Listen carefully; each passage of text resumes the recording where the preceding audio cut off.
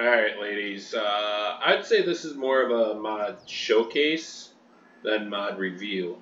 And the reason I say that is I already know, and everybody else knows, hog barn feed mill. Alright, fair. So this is the feed mill I made from Elm Creek's uh, buildings from Giants. And with this, we are able to create pig food out of corn. So your corn out of your cornfield, we're dumping right here into this hopper. I know it's a little tight, possibly move it yet before final release. And then we're going to get the pig food out right over here. So it works out perfect. You do not have to worry about buying it, and you do not have to worry about um, feeding the pigs every last little crop that is even available. Now I'm going to move over here and show you guys a little bit about Western Iowa's hog barn. Now, a huge thing to know on this hog barn, it is a 2,500 head capacity hog barn. And if you had a nav mesh that held that many, the game would not run. Then again, how are you going to make a nav mesh in something like this? So what we got is over here is where the pigs will roam around. You can see the back gates are off. That is just so you don't have pigs running through the aisles and everything. Now these pigs are static. It is in your best interest to leave them alone or delete them, but it it helps. I mean, that's all I got to say about it rather than uh, completely tearing down your computer and frames per second anytime you get close. Now this little trigger over here, as you can see in the top left, that would be for the fans.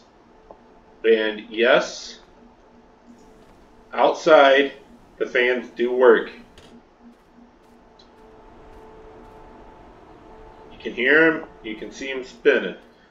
If they're not spinning for you, you got to remember to go get Thunder's uh, animated object script from his itch.io, and that will just add on to everything that a map maker, mod maker could even possibly think of for animated objects. It helps make the thing spin constantly rather than on-off type thing. Then you got the trigger over here for the curtains you move back a little bit, the entire building you got trigger for your shed lights inside. And curtains go up and down. Very nice touch. And then we're going to move right outside. Come on.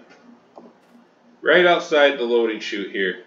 We open the animal dialog here. Buy some animals. As you can see, 1,000 head there. We're going to buy this by another thousand. No. Come on.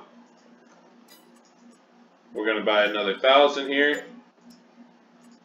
And then you click on it again, 2400 head. Excuse me. Not 25, 2400.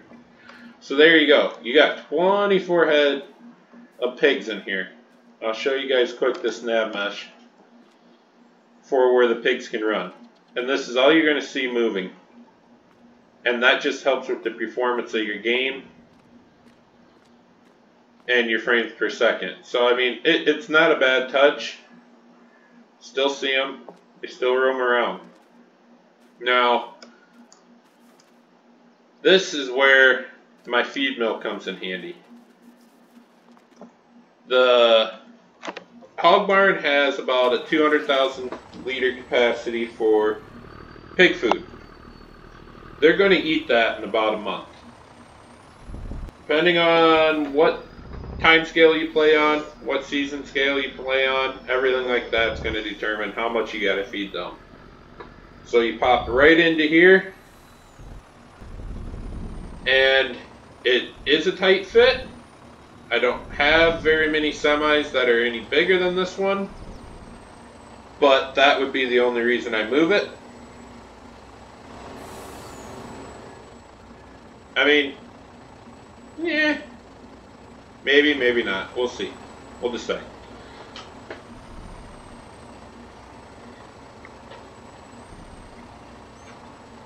But we'll get this whole hopper bottom set right in here.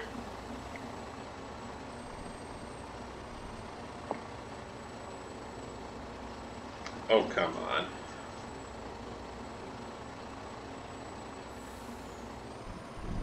There it is.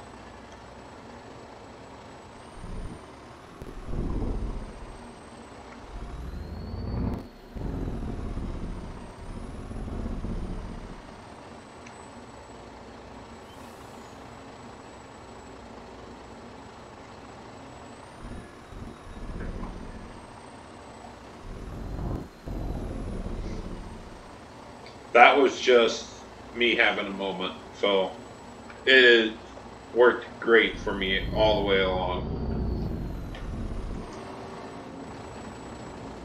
And then we'd come back to the door. It, this is a placeable system, so wherever, however you want to do this, it works great for like a co-op. Then you can come over, make sure you activate it, and let it run for a while but we got plenty of capacity in here for corn, plenty of capacity for pig food. Now, once you get some pig food made, produced,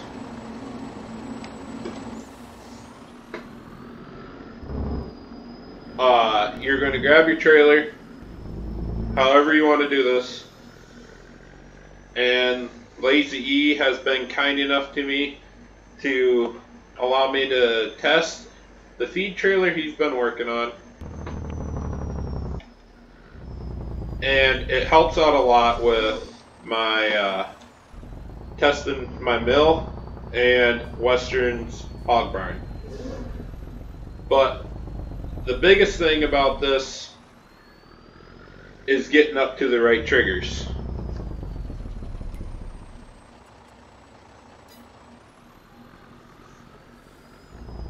I forgot to speed up the time scale. So we're not going to have that much pig food to grab right now, but it's alright.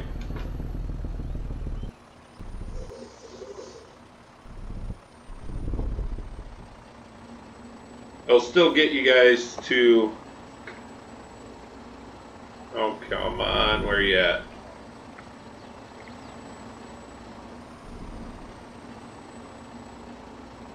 There it is in the wrong spot like normal. Right there's your pig food. I made it so you could empty all the corn out of here too, just in case you wanted to sell it. So you're not out every everything that you put into it. And as you can see, there's, I mean, we're just letting it run at the sped up time scale now. So that's what you're going to produce.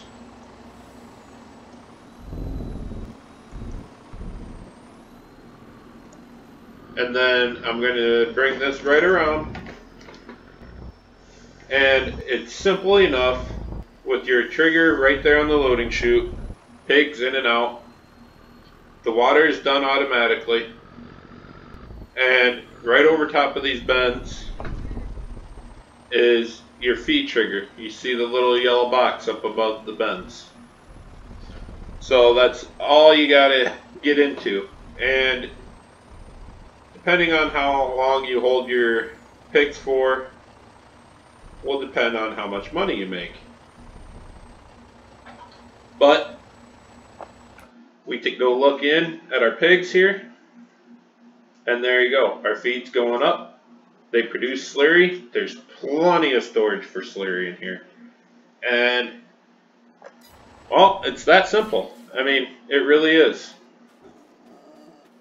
Just some dang pigs, and a lot of them. So you can challenge yourself with this all you want. Put a couple of these down. Get 48, or yeah, 4,800 head. Or, you know, you could go giant and put 10 of them around. It's going to be a challenge either way you go, and you're going to have to produce a lot of corn and feed with it. But thanks for watching, guys, and I hope you enjoy once they are publicly released.